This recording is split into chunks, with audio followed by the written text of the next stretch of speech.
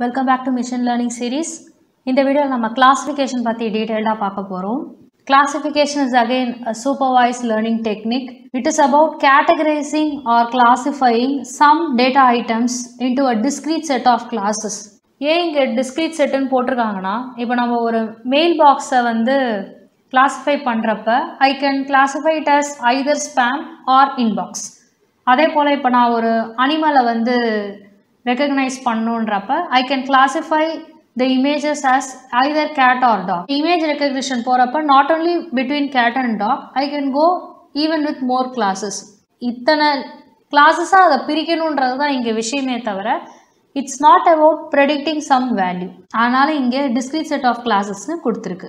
It determines the class label for an unlabelled test case unlabel test case இந்த இடத்துல எதை சொல்கிறாங்கன்னா ஒரு மெயில் வருது ஆனால் அது வந்து கரெக்டான மெயிலாக இல்லையான்றது எனக்கு தெரியாது. அதை வந்து இந்த இடத்துல அன்லேபிள்டுன்னு எடுத்துக்கோங்க.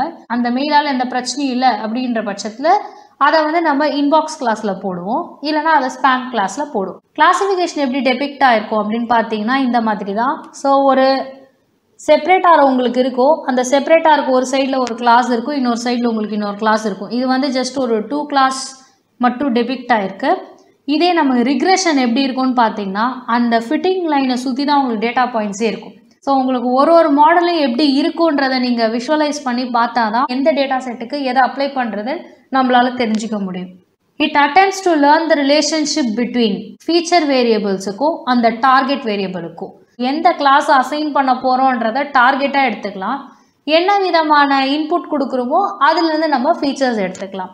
இப்போ நம்ம ஒரு மெயில் எடுத்துக்கிட்டோம்னா அதில் என்ன ஃபீச்சர்ஸ் நீங்கள் எடுத்துக்கலாம்னு பார்த்தீங்கன்னா சென்டர் அட்ரஸ் வந்து இந்த இந்த மாதிரி உங்களுக்கு டொமைன்லேருந்து வந்ததுன்னா இதெல்லாம் ஸ்பேமாக இருக்க வாய்ப்பு இருக்குது இல்லைனா மெயிலோட கண்டென்ட்டில் வந்து இந்த இந்த வேர்ட்ஸ் எல்லாம் இருந்ததுன்னா இது வந்து ஸ்பேமாக இருக்க வாய்ப்பு இருக்குன்னுட்டு இந்த மெயில் கண்டென்ட்டை நான் ஒரு ஃபீச்சராக மெயிலோட சென்டர் ஐடியை வந்து ஒரு ஃபீச்சராக இந்த மாதிரி I can separate it I am not getting into the algorithm but அது எப்படிலாம் பண்ணலான்ற ஒரு ஐடியாக்காக சொல்கிறேன் இப்போ கிளாசிஃபையர் மாடல்ஸ் வந்து என்ன மாதிரியான கிளாஸிஃபிகேஷனுக்கு நம்ம பில் பண்ணலான்னு பார்த்தீங்கன்னா பைனரி கிளாஸிஃபிகேஷன் அதாவது ரெண்டே கிளாஸ் தான் இருக்குது as in the case of spam ஒன்று இன்பாக்ஸுக்கு போகணும் இல்லை ஸ்பேமுக்கு போகணுன்ற மாதிரியான ஒரு பைனரி கிளாஸிஃபிகேஷன் இன்னொன்று மல்டி கிளாஸ் கிளாஸிஃபிகேஷன் ஸோ சில பேர் வீட்டில் பார்த்தீங்கன்னா டாக்ஸ் இருக்கும் கேட்ஸ் இருக்கும் பேர்ட்ஸ் கூட வளர்ப்பாங்க. ஸோ அந்த மாதிரி மல்டி கிளாஸாக கூட நம்ம இதை கிளாஸிஃபை பண்ணலாம். நிறைய விதமான கிளாஸிஃபிகேஷன் அல்காரிதம்ஸ் அவைலபிளாக இருக்குது decision trees k nearest neighbors, logistic regression, support vector missions, naive Bayes classifier, linear discriminant analysis, neural networks. இதில் இந்த வீடியோவில் பார்த்தீங்கன்னா நாம் ஃபர்ஸ்ட் ஃபோர் அல்காரிதம்ஸ் மட்டும்தான் டிஸ்கஸ் பண்ண போகிறோம் decision trees K nearest neighbours logistic regression and support vector machines naive Bayes classifier பற்றியும் LDA பற்றி இதில் நான் டிஸ்கஸ் பண்ணல.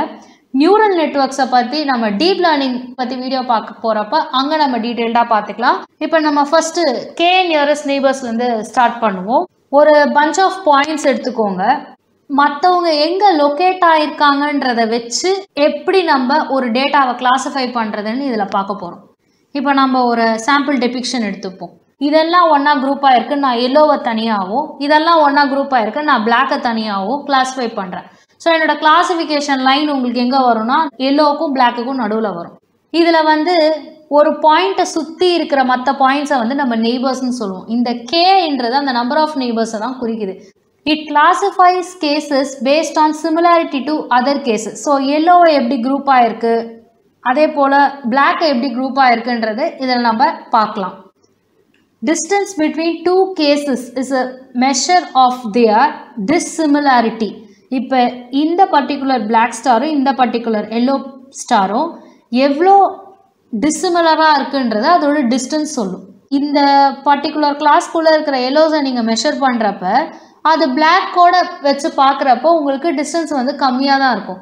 ஒரு பிளாக்குக்கும் ஒரு எல்லோவுக்கும் நடுவில் இருக்கிற டிஸ்டன்ஸ் உங்களுக்கு அதிகமாகவும் பிளாக் பிளாக்குக்குள்ளே இருக்கிற டிஸ்டன்ஸும் எல்லோ அண்ட் எல்லோக்குள்ளே இருக்கிற டிஸ்டன்ஸும் உங்களுக்கு கம்மியாக இருக்கும். So the distance will be the டிஸ்சிமிலாரிட்டின்றதை இங்கே சொல்லியிருக்காங்க ஸோ இந்த இடத்துல வந்து கேசஸ்னு எதை மீன் பண்ணுறாங்கன்னா டிஸ்டன்ஸ் பிட்வீன் கேசஸ்னு ஈச் கேஸ் ஃப்ரம் டிஃப்ரெண்ட் லேபிள்னு நீங்கள் எடுத்துக்கணும். ஸோ ஒன்று வந்து எல்லோ லேபிள் இன்னொன்று வந்து பிளாக் லேபிள் இப்போ நம்ம கே நியரஸ்ட் நெய்பரோட அல்காரிதம் பார்ப்போம். ஸோ அது எப்படி ஒர்க் ஆகுதுன்றதை நம்ம தெரிஞ்சுப்போம். ப்ரீவியஸ் டெபிக்ஷனில் நம்ம ஒரு புது டேட்டாவை இங்கே பிளேஸ் பண்ணுறோம் I have placed it in white now will pick a value for K இப்போ இதில் வந்து நம்ம கே இஸ் ஈக்குவல் டு ஃபோர்னு எடுக்கிறோம் அதாவது அந்த டேட்டா பாயிண்ட்லேருந்து நான் நாலு நெய்பரை மட்டும்தான் இதில் கன்சிடர் பண்ண போகிறேன்னு அர்த்தம்.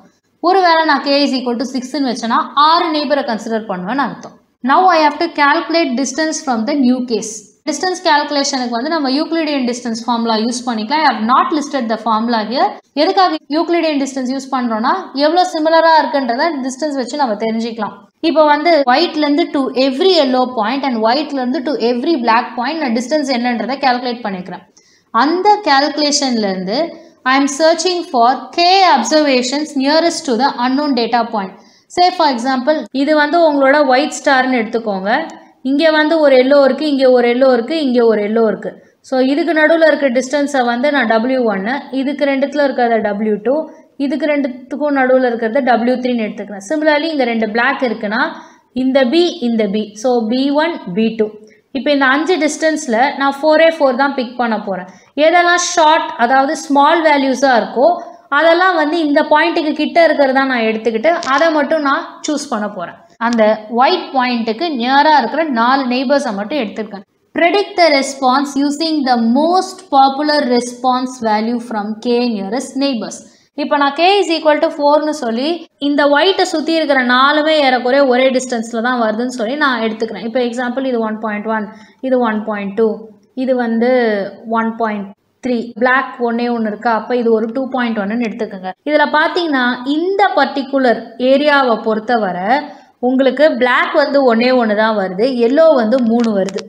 அப்போ இங்கே மோஸ்ட் பாப்புலர் ரெஸ்பான்ஸ் நீங்கள் எதை எடுக்கணும்னா எல்லோ எடுக்கணும். அதுக்கு காரணம் இந்த ரீசனுக்குள்ளே எல்லோ தான் ஹையராக இருக்குன்றப்ப இந்த ஒயிட் பாயிண்ட்டும் எல்லோவில் இருக்க தான் வாய்ப்பு அதிகம்னு அர்த்தம். இன்கேஸ் இதில் ஒரு மூணு பிளாக்கு ஒரே ஒரு எல்லோ வந்துச்சுன்னா இந்த ஒயிட் பாயிண்ட்டை நான் பிளாக்குக்கு தான் அனுப்பணும்னு அர்த்தம். It's not between yellow and black it is about class yellow and class black so எந்த கிளாஸ்க்கு அனுப்பணுன்றது number of neighbours will decide it's like getting votes யார் அதிகமாக இருக்கீங்களோ அந்த மெஜாரிட்டி குரூப்புக்கு அதை நான் அனுப்பி வைப்பேன்றது இப்போ நம்ம என்ன செய்கிறோம் இந்த ஒயிட்டை வந்து இந்த எல்லோ கிளாஸ் கூட நம்ம கிளாஸிஃபை பண்ண போகிறோம் அதே போல் பிளாக்கை தனியாக கிளாஸிஃபை பண்ணிக்க போகிறோம் அண்ட் இந்த கிளாஸிஃபிகேஷன் முடிச்சதுக்கப்புறம் ஆட்டோமேட்டிக்காக இந்த பாயிண்ட் வந்து உங்களுக்கு எல்லோவாக மாறிடும். இதில் வந்து கேவை எப்படி சூஸ் பண்ணுறதுன்ற ஒரு கொஸ்டின் இருக்குது நம்ம வந்து கேஜி கொட்டு ஃபோர் கேஜி கொட்டு செவன் அந்த மாதிரி சில வேல்யூஸை ட்ரை பண்ணி பார்த்துட்டு எதில் உங்களுக்கு அந்த டிஸ்டன்ஸ் நல்லா மினிமைஸ் ஆகுதோ அந்த புது பாயிண்ட்டோட அதுக்கேற்ற மாதிரி நம்ம கே வேல்யூவை செலக்ட் பண்ணுற மாதிரி இருக்கும். கேவை ரொம்ப கம்மியாக நீங்கள் சூஸ் பண்ணிட்டீங்கன்னா it can be noisy and lead to effect of outliers இதே டெபிக்ஷனில் நீங்கள் பார்த்தீங்கன்னா உங்களுக்கு இங்கே வந்து ஒரு அஞ்சு இருக்குது இங்கே இத்தனை இருக்குது திடீர்னு இங்கே ஒன்று இருக்குது நீங்கள் கே வந்து ரெண்டே ரெண்டுன்ட்டிங்கன்னு வச்சுக்கோங்களேன். இது வந்து இந்த கிளாஸ்க்குள்ளே வரல. ஆனால் நம்ம என்ன பண்ணுவோம்? இதையும் சேர்த்து குரூப் பண்ணி விட்ருவோம் ஸோ இந்த இடத்துல இந்த அவுட்லேயர்ஸ் மாற்றத்துக்கான வாய்ப்பு இருக்குது ஸோ நாய்ஸின்றது என்னன்னா கரெக்டான டேட்டா இல்லாமல் சிலது தப்பாக இருக்குன்னா அதாவது அந்த ஏரியா விட்டு தள்ளி இருக்குன்னா அதையும் சேர்த்து இதில் குரூப் பண்ணிக்கிறதுக்கான பாசிபிலிட்டி இருக்குன்னு சொல்கிறாங்க a large value of K is fine but would be difficult sometimes இப்போ இருக்கிறதே இத்தனை டேட்டா பாயிண்ட்டு தெரிஞ்சு நான் K is equal to ten or டுவெல்னு போட்டேன்னு வச்சுக்கோங்களேன். இது தனியாக கிளாஸிஃபிகேஷன் வரும் இது ஒன்று வரும் இது ரெண்டு வரும். இந்த மாதிரி நிறைய குட்டி குட்டியாக உங்களுக்கு வர்றது சில கேசஸில் வந்து உங்களுக்கு ரொம்ப டிஃபிகல்ட்டாக இருக்குன்றத சொல்கிறாங்க அதனால் நம்ம கே சூஸ் பண்ணுறப்ப என்ன பண்ணோன்னா ஒரு பார்ட் ஆஃப் டேட்டாவை டெஸ்ட் பண்ணுறதுக்கு எடுத்து வச்சுருக்கணும். அதாவது ட்ரெயின் பண்ணுறோம்ல அந்த டேட்டாவில் சிலதை டெஸ்ட் பண்ண வைக்கணும். அப்போ தான் நம்மளால் அந்த மாடலை வந்து அக்யூரேட்டாக ப்ரெடிக்ட் பண்ண வைக்க முடியும். So we have to reserve a part of the data to test accuracy of model so புது டேட்டா வர்றதுக்கு முன்னாடி இருக்கிற டேட்டாவிலேயே கொஞ்சம் டெஸ்ட் பண்ணால் மட்டும்தான் நம்மளால அந்த அக்யூரேசி எந்த அளவுக்கு இருக்குன்றத தெரிஞ்சுக்க முடியும். அப்போ தான் கரெக்டான கே வேல்யூ என்னன்றதை நம்மளால இந்த டேட்டா செட்டுக்கு எடுக்க முடியும். KNN can also be used for regression. So this is just an additional point we need to know. KNN-க்குன்னு வந்து சில evaluation metrics இருக்குது அதில் வந்து மூணு மெட்ரிக்கை வந்து இங்கே நான் லிஸ்ட் பண்ணுறேன் Jaccard index F one score log loss Jaccard இண்டெக்ஸ்ன்றது. இதுதான் அந்த ஃபார்முலா. அதாவது ரெண்டு கிளாசிஃபிகேஷன் இருக்குது அந்த கிளாசிஃபிகேஷனுடைய intersection divided by union so அதை தான் உங்களுக்கு வென் டயக்ராமில் கொடுத்துருக்காங்க. யூனியன்ன்றது அதை கம்ப்ளீட்டாக எடுக்கிறது. இன்டர்செக்ஷன்ன்றது ரெண்டும் ஒத்து போகிற இடத்துல எடுக்கிறது. அப்போ நீங்கள் இதை எப்படி எடுத்துக்கணும்னா இங்கே சில பாயிண்ட்ஸ் இருக்குது இங்கேயும் சில பாயிண்ட்ஸ் இருக்குது இதை டோட்டலாக எடுக்கிறது யூனியன் எடுக்கணும். ஒருவேளை ஒரு இடத்துல வந்து உங்களுக்கு கிளாசிஃபிகேஷன் ரெண்டுத்துக்குமே இந்த பாயிண்ட் வருதுன்றதை நம்ம இன்டர்செக்ஷனில் எடுக்கணும். ஸோ நம்ம என்ன சொல்லலாம்? அது இந்த பக்கமும் போகலாம் இந்த பக்கமும் போகலான்ற இடத்துல அந்த மெட்ரிக் வந்து உங்களுக்கு அதை மெஷர் பண்ண அலோவ் பண்ணுது. அடுத்தது வந்து எஃப் ஒன் ஸ்கோர் இதில் வந்து நமக்கு கன்ஃபியூஷன் மேட்ரிக்ஸ்னு ஒன்று இருக்குது this is inbox and this is ஸ்பேம்னு எடுத்துப்போம். Similarly this is inbox and this is spam இப்படி எடுத்துப்போம். இப்போ இன்பாக்ஸில் போட வேண்டியது இன்பாக்ஸுக்கே வந்துருச்சுன்னா அது வந்து ட்ரூ பாசிட்டிவ் இப்போ இன்பாக்ஸுக்கு வர வேண்டியது ஸ்பேம்னு தப்பாக ப்ரெடிக்ட் ஆகிருந்ததுன்னா அது வந்து ஃபால்ஸ் நெகட்டிவ்னு அர்த்தம். இப்போ ஒருவேளை ஸ்பேமாக இருக்க வேண்டியதை நான் ஸ்பேமுனே கரெக்டாக ப்ரெடிக்ட் பண்ணிட்டேன்னா அது ட்ரூ நெகட்டிவ் நெகட்டிவ் வேல்யூவுக்கு அது ட்ரூவாக இருக்குன்னு அர்த்தம்.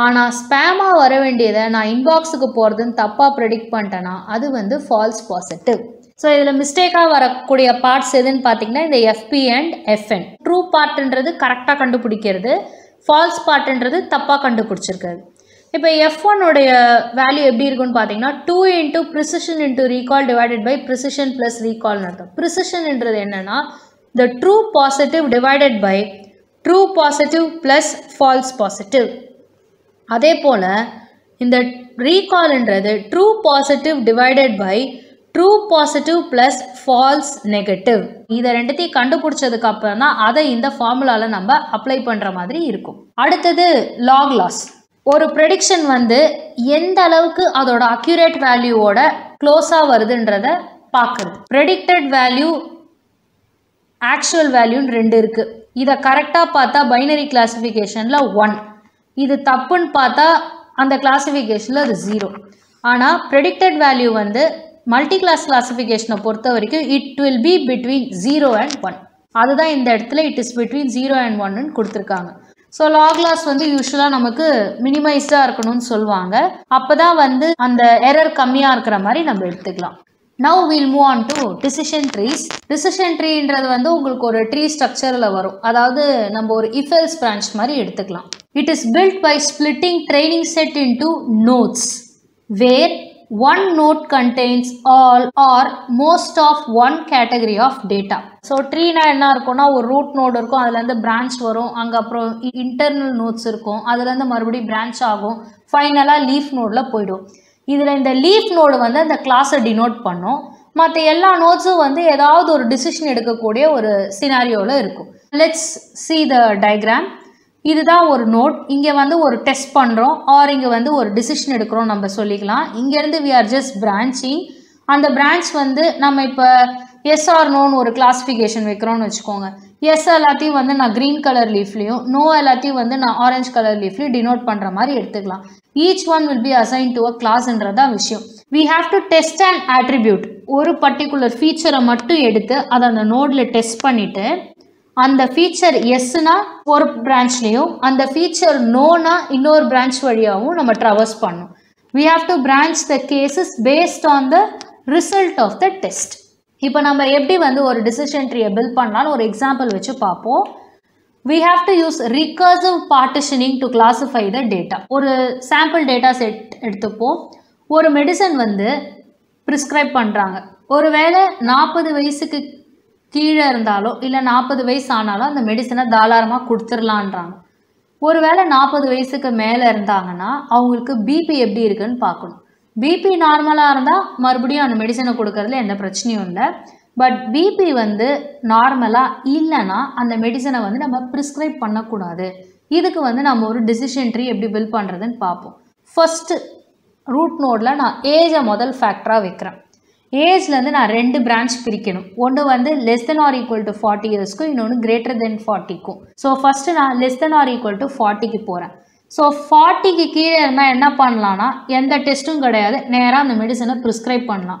So I am going with yes the medicine can be given ஒருவேளை என்னோட இன்னொரு பிரான்ச் கிரேட்டர் தென் ஃபார்ட்டிக்கு நான் என்ன செக் பண்ணணும்னா பிபி நார்மலாக இருக்கான்னு செக் பண்ணணும். So I am going for a node again blood ப்ரெஷர்ன்ற அந்த நோட் நார்மலாக இருந்ததுன்னா மெடிசனை கொடுத்துருங்கனோ அது ஒருவேளை நார்மலாக இல்லை. அதை என்ன சொல்லலாம்? Either high BP or low BP இப்படி ஏதாவது இருந்ததுன்னா அந்த மெடிசனை கொடுக்காதீங்கன்னு வந்துடும் இதில் என்ன விஷயம்னா எந்த ஆட்ரிபியூட்டை ரூட்டில் எடுக்கணும் எந்த ஆட்ரிபியூட்டை அடுத்தடுத்து எடுக்கணுன்றதை நாம் தான் டிசைட் பண்ணணும். So the attribute that gives a major differentiation should be taken in the top இதில் வந்து there is a term call pure node ஒருவேளை எல்லா கேசஸுமே ஒரே நோட்லேயே வந்து ஃபாலோ ஆயிடுச்சுன்னா அதை வந்து நம்ம பியோர் நோடுன்னு சொல்லுவோம். In hundred percent of the cases the nodes fall in to the same category டயக்ராமில் எப்படி இருக்கும்னு பார்த்தீங்கன்னா எல்லாமே வந்து ஒரு எல்லோ கிளாஸ் லேபிள்ஸ் அப்படின்னு நம்ம எடுக்கிறப்ப it will be a pure node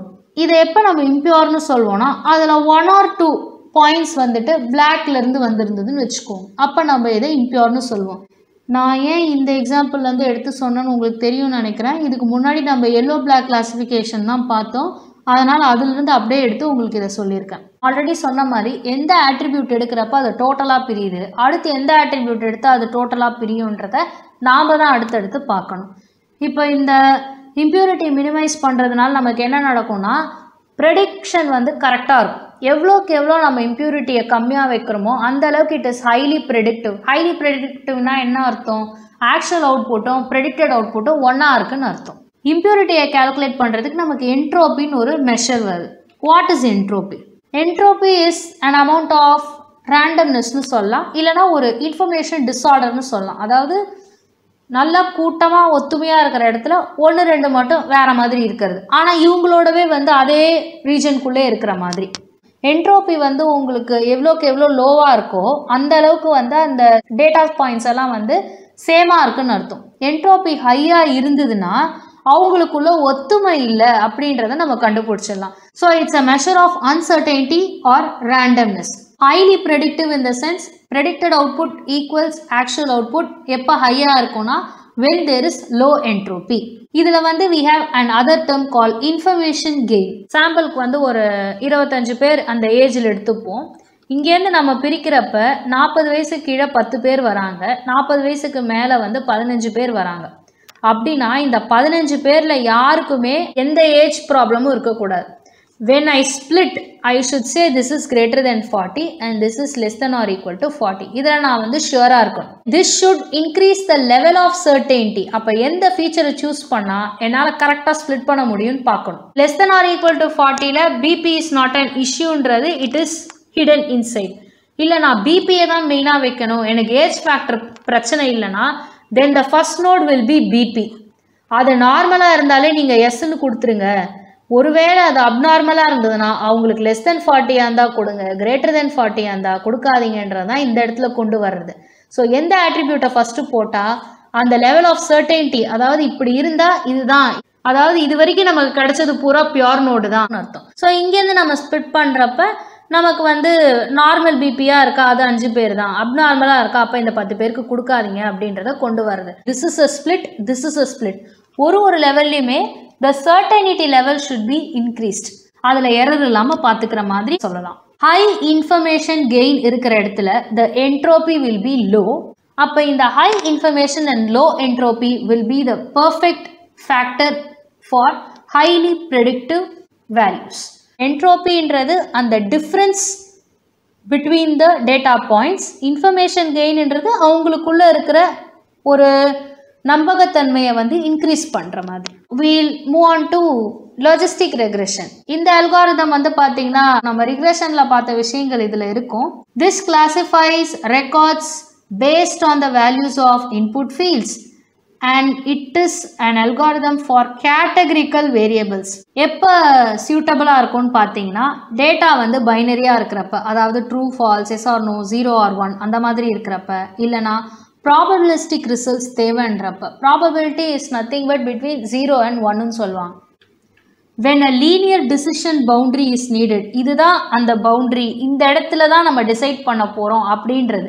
இப்போ நம்ம ரிக்ரெஷனில் பார்த்தீங்கன்னா டேட்டா பாயிண்ட்ஸ் எல்லாமே அதை ஒட்டி அது மேலேன்னு அந்த லைனை சுற்றியே இருக்குது பட் நமக்கு வந்து பவுண்ட்ரின்றது எப்படின்னா ஒன்று இதுக்குள்ளே இல்லை இதுக்கு மேலேன்னு இருக்கும். என்னுடைய டார்கெட்டும் கேட்டகரிக்கல் தான் அப்படின்ற இடத்துல லொஜிஸ்டிக் ரெக்ரெஷன் தாராளமாக எடுத்து யூஸ் பண்ணலாம். ஸோ லீனியர் ரெக்ரெஷன் ஃபஸ்ட்டு நம்ம பார்த்துட்டு அதுலேருந்து லொஜிஸ்டிக் எப்படி வேறுபடுதுன்னு தெரிஞ்சுப்போம். லீனியர் ரெக்ரெஷன் பொறுத்த வரைக்கும் நம்ம ஒய் இன்டர்செப்ட் என்ன அதோட வெயிட்ஸ் என்ன அதாவது பீட்டா ஒன் பீட்டா டூலாம் இருக்குல்ல அதெல்லாம் என்னன்றது எஸ்டிமேட் பண்ணிவிட்டு காஸ் ஃபங்க்ஷனை மினிமைஸ் பண்ணுறது மூலிமா நம்ம அவுட்புட் வேரியபிள் ஒய் என்னன்றதை ப்ரெடிக்ட் பண்ணுறோம் so Y is equal to beta zero plus beta one into X அந்த ஃபார்ம் லொஜிஸ்டிக் ரெக்ரெஷனில் பொறுத்த வரைக்கும் இது கூட ஒரு அடிஷ்னல் ஸ்டெப் இருக்குது நம்ம வந்து இந்த அவுட்புட் வேரியபிள் கால்குலேட் பண்ணுறதுக்கான அந்த equation correct beta zero plus beta one into X வரைக்கும் கரெக்ட் ஆனால் இந்த வேல்யூ இருக்குல்ல இதை டேரெக்டாக நான் ஒய் கேப்னு சொல்ல மாட்டேன்.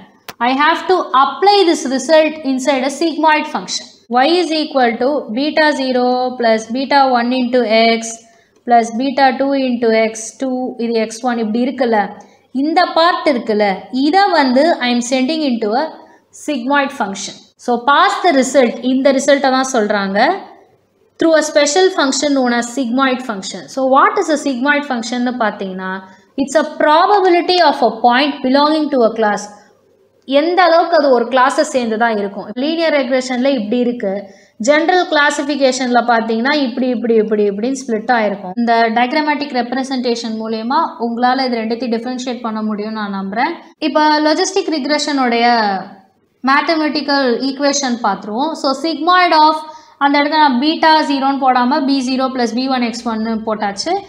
Till all the variables and sigmoid is equal to 1 divided by 1 plus e power minus y. Sigmoid என்றது இந்த பார்ட்டை தான் ரெப்ரசன்ட் பண்ணுது. ஸோ இது அப்படியே இந்த மாதிரி டேர்ம்ஸில் நான் ரெப்ரசன்ட் பண்ணுறேன் ஸோ சிக்மாய்டுன்றது என்னன்னா இதுக்குள்ளே வர வேல்யூவை நான் இந்த e இ பவர் மைனஸில் எடுத்துகிட்டு போய் போடணும்னு அர்த்தம். Logistic regression will give a continuous value of probability y is equal to 1 அப்படின்னா y is equal to ஒரு கிளாஸ்னு வச்சுக்கோங்க.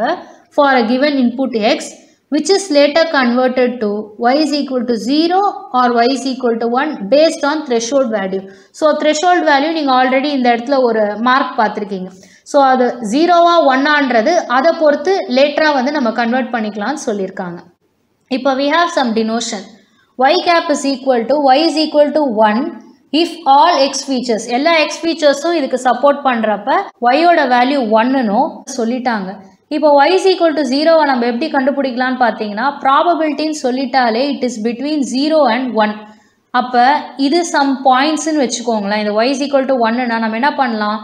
ஒன் மைனஸ் இந்த வேல்யூ என்னன்னு போட்டாலே அந்த probability of y is to zero என்ன நமக்கு கிடைச்சிடும் லொஜிஸ்டிக் ரெக்ரெஷனோட மாடல் வந்து ஜென்ரலாக இப்படி தான் வைப்போம். B zero plus B one X one இருக்குல்ல அந்த ஃபார்மேட்டை தான் இப்படி போட்டிருக்காங்க. அண்ட் இதை வந்து நம்ம ஆக்சுவலி வெயிட்ஸ்ன்னு சொல்லலாம். இதை வந்து பயஸ்னு சொல்லலாம். இந்த வெயிட்ஸ்னா என்ன? பயஸ்னா என்ன? நீங்கள் நியூரல் நெட்ஒர்க் ஸ்ட்ரக்சர் பார்த்தீங்கன்னா உங்களுக்கு எக்ஸாக்டாக இது புரியும். Weight times features matrix multiplication operation because weight into that features அதுதான். இந்த மல்டிப்ளிகேஷனை தான் அது மீன் பண்ணுது. A summation of the weighted features weighted ஃபீச்சர்ஸ்ன்றது W X and a bias term. So summation between wx and the bias term B கொடுத்துருக்காங்க. And finally the application of a sigmoid function. இதைத்தான் அந்த wx plus bன்றதை சொல்லிட்டு அதில் நாம் sigmoid apply பண்ணுறோம்னு சொல்கிறோம் so எப்படி ஒரு மாடலுக்கான பெஸ்ட் பராமீட்டர்ஸை ஃபைன் பண்ணுறதுன்னு பார்த்தீங்கன்னா we have to minimize the cost function அந்த எரர் இங்கேயும் இருக்கு அந்த ஃபார்முலாவில் நான் டினோட் பண்ணல but it is existing and how to minimize the cost function பார்த்தீங்கன்னா using gradient descent so gradient டிசென்ட்னா என்ன அப்படின்றத இப்போ ஃபஸ்ட்டு நம்ம தெரிஞ்சுப்போம். Gradient descent is an iterative approach to find the minimum of a function so இந்த gradient டிசன்னா என்ன எப்படி அதை திருப்பி திருப்பி நம்ம இட்ரேட் பண்ணி கண்டுபிடிக்கிறதுன்றது எல்லாமே வந்து உங்களுக்கு நியூரல் நெட்ஒர்க்ஸில் கிளியராக வரும். நம்ம கிளாசிஃபிகேஷனுக்கு என்ன தேவையோ அதை வரைக்கும் பார்த்தப்போ அப்போ கிரேடியன்ட் டிசன் யூஸ் பண்ணி நான் வந்து காஸ்ட் ஃபங்க்ஷனை மினிமைஸ் பண்ணுறேன் காஸ்ட் ஃபங்க்ஷனை மினிமைஸ் பண்ணுறது மூலயமா நான் அந்த பேராமீட்டர்ஸோட பெஸ்ட் வேல்யூஸ் என்னன்றதை கண்டுபிடிக்கிறேன். The final algorithm support vector machines இதில் வந்து ஒரு செப்பரேட்டார் என்னன்றதை கண்டுபிடிச்சி அது மூலிமா கேசஸை கிளாஸிஃபை பண்ணக்கூடியது தான் எஸ்விஎம் ரெண்டு விஷயம் இருக்குது ஒன்று நம்ம டேட்டாவை வந்துட்டு ஒரு ஹை டைமென்ஷனல் ஸ்பேஸில் மேப் பண்ணிவிட்டு நம்ம இப்போதைக்கு அதை டூ டிலே எடுத்துப்போம்.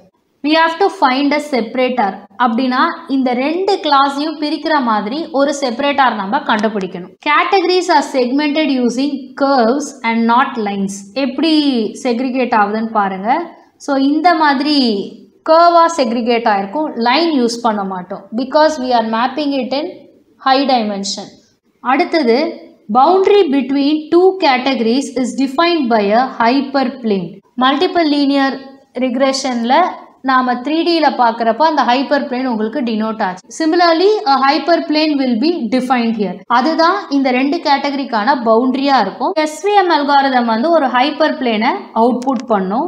Let's take this to be the hyperplane இந்த ஹைப்பர் பிளேன் தான் நியூ வேல்யூஸை கரெக்டாக கேட்டகரைஸ் பண்ண போகுதுன்னு சொல்கிறாங்க இப்போ நமக்கு இந்த மேப்பிங் டேட்டான்னு ஒரு ப்ராசஸ் இருக்குல்ல இதை வந்து நம்ம கேர்னலிங்னு சொல்லுவோம்.